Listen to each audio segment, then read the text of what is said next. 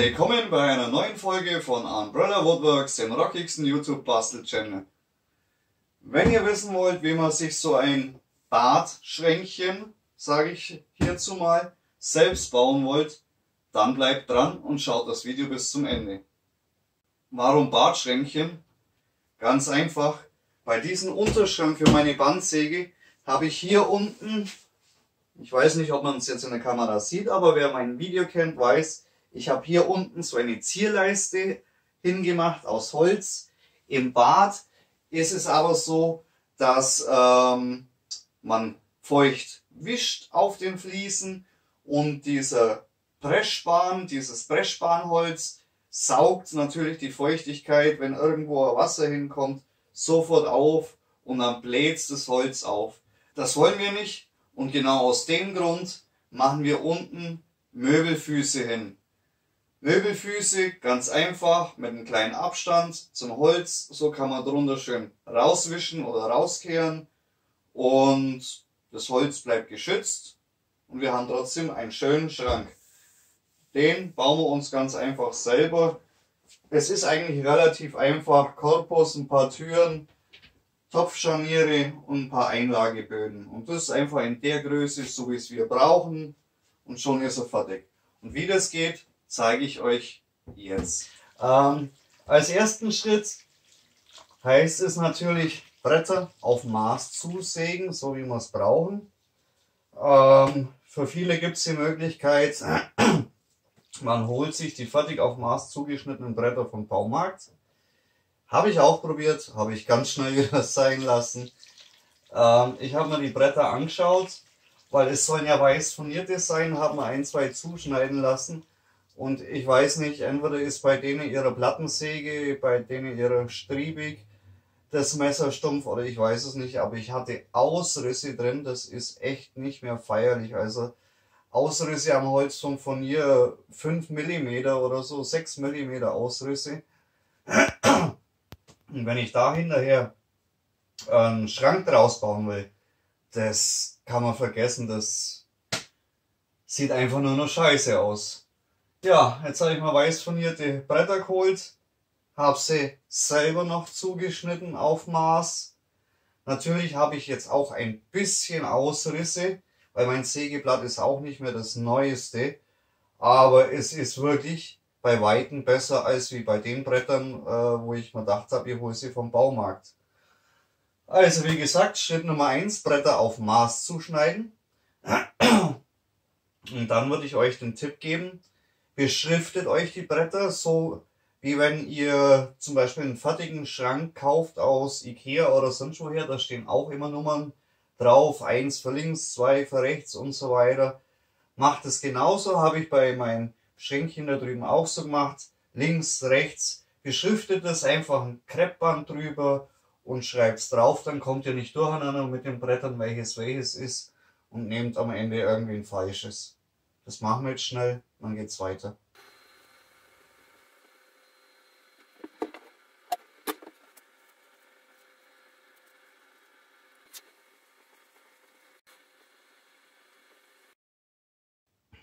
Das einzige, was wir jetzt noch schnell machen, bevor wir den Korpus zusammenschrauben, ist Löcher zu bohren für diese Einlagebödenhalterungen, für diesen kleinen für diese kleinen Plastikknobbel hier, wo man dann reinsteckt und wo die Einlageböden drauf liegen.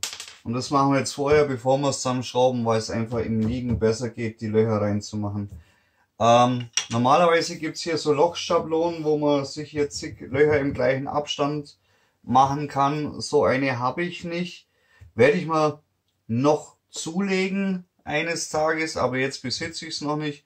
Also mache ich es ganz einfach. Ich weiß, dass ich zwei bis drei Einlageböden brauche, beziehungsweise machen muss. Also mache ich einfach drei Löcher. Bei 30, 60, 90 habe ich mir jetzt angezeichnet. Und dann nehme ich hier die Lochschablone, damit ich immer den gleichen Abstand nach innen habe. Die ist eigentlich für die Topfscharniere gedacht, aber die eignet sich hierfür auch.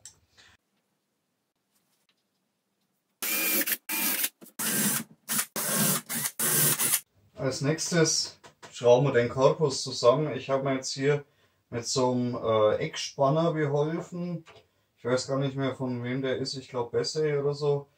Der behilft mir ein bisschen das Ganze festzuhalten, damit ich nicht das Brett halten muss, während ich schraube. Der hilft mir hier ein bisschen, ist im 90 Grad Winkel und somit kann ich jetzt äh, ähm, den Boden an die Seitenwände schrauben. Ich mache hier einfach eine stumpfe Verbindung mit Schrauben, weil von unten sieht man es eh nicht, von der Seite sieht man dann auch nichts, weil links und rechts davon sind Fliesen bzw. die Mauer, weil es in so einer kleinen Nische steht. Ähm, ich schraube das jetzt einfach schnell zusammen und dann geht es weiter.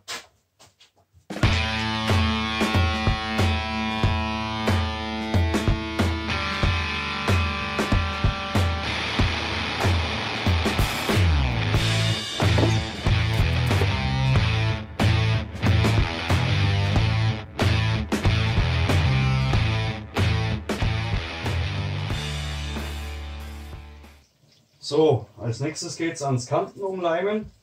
Das heißt, diese Sichtseiten hier verschönern mit so einem Kantenumleimer. Ich denke mal, das kennt jeder. Den schneidet man sich am besten im Vorhinein ein bisschen auf Maß zu, so wie man braucht.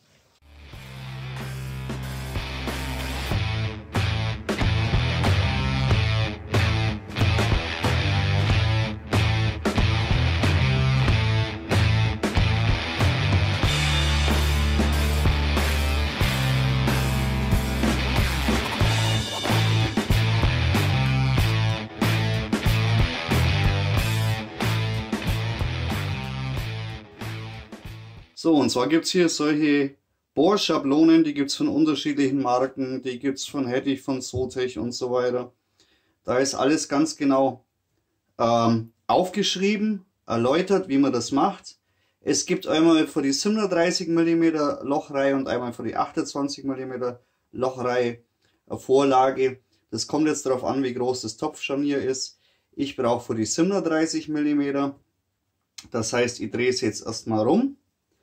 Dann suche ich mir einen Punkt, wo ich die Scharniere reinmachen möchte. Und zwar nehme ich dann die zwei äußeren. Da ist der Abstand auch genau angeschrieben. Dann mache ich hier in diese zwei, die zwei markiere ich mir. Hier habe ich gleichzeitig den Abstandshalter, der ist später noch ganz wichtig. Jetzt habe ich mal die zwei markiert. Das gleiche machen wir jetzt da auf der Oberseite.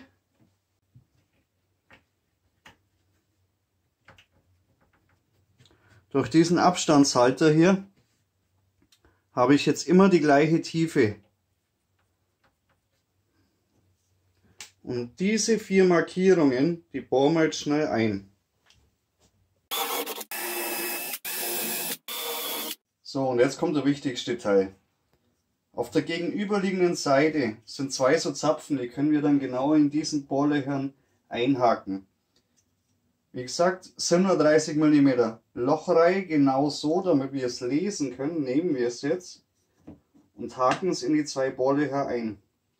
Und jetzt führen wir die Türe, was ran soll, bündig ran. Wenn wir sie hier bündig dran haben, haben wir hier wieder den Vorteil, dass wir hier gleich diesen Abstandshalter haben.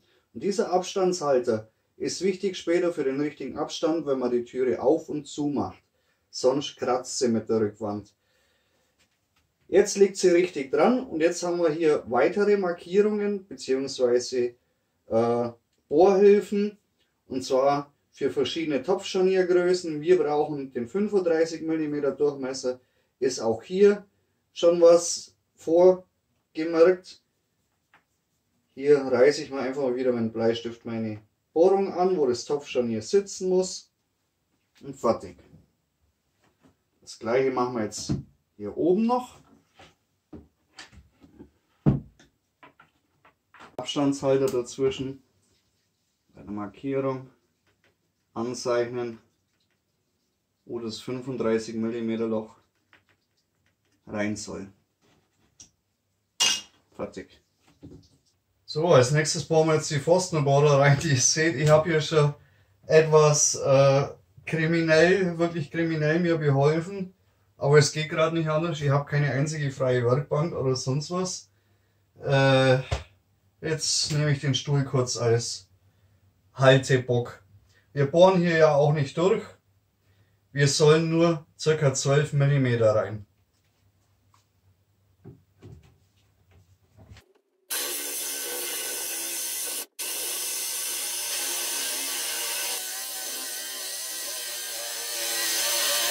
So, und jetzt können wir die Scharniere schön einbauen.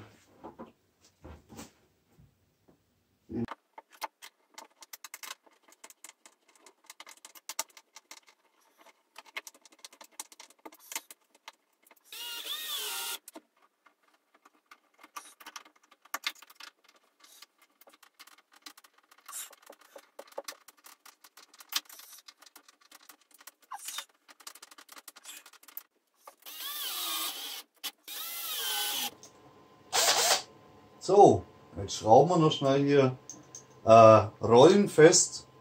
Warum Rollen mit Absicht rollen? Der Kunde bzw. derjenige, wo das Schränkchen bekommt, möchte unten statt Möbelfüße Rollen dran haben. Dass das Schränkchen rollbar ist. Das machen wir jetzt schnell. Jetzt schrauben wir die vier Rollen hier hin und stellen wir das gute Stück mal auf.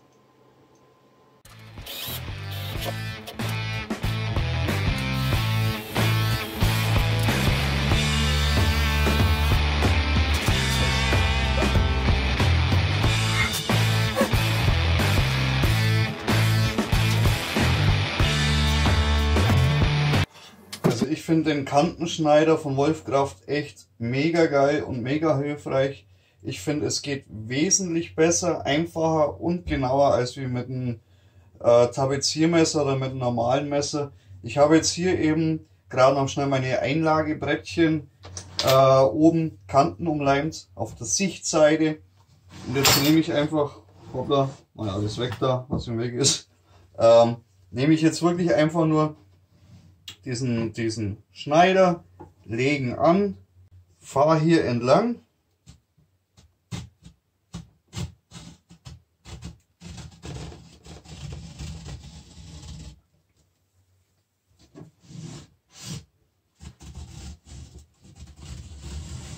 Das Ganze geht in einem Zug wirklich wunderbar. Ich habe eine wirklich schöne und scharfe Kante.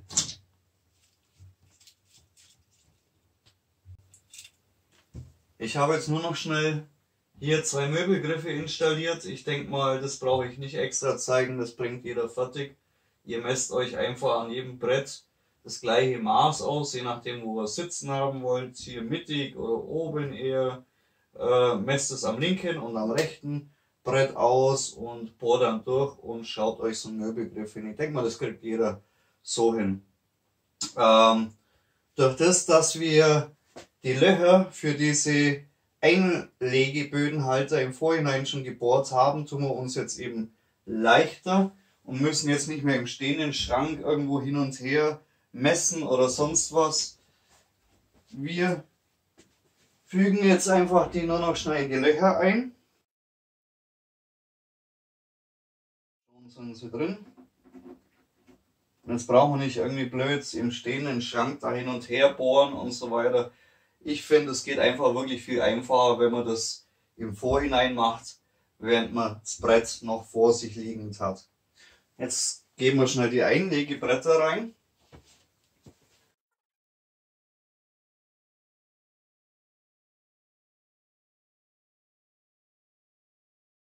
Es gibt hier vom Hersteller kostenlos solche Abdeckungen mit dazu, wo man die Schrauben abdeckt und ich finde, es sieht einfach ein bisschen schöner aus. Und die machen wir jetzt hin. Die werden einfach aufgeklipst. Zack, einmal, zack, zweimal. Schauen wir mal, ob es hier auch noch drauf geht. Ja, geht drauf, zack, dreimal. Einfach draufklipsen.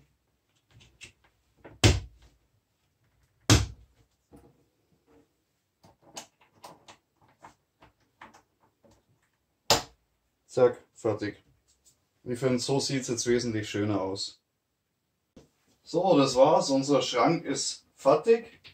Mit Softclose-Türen. Finde ich echt top. Ich sage vielen Dank fürs Zusehen und bis zum nächsten Mal.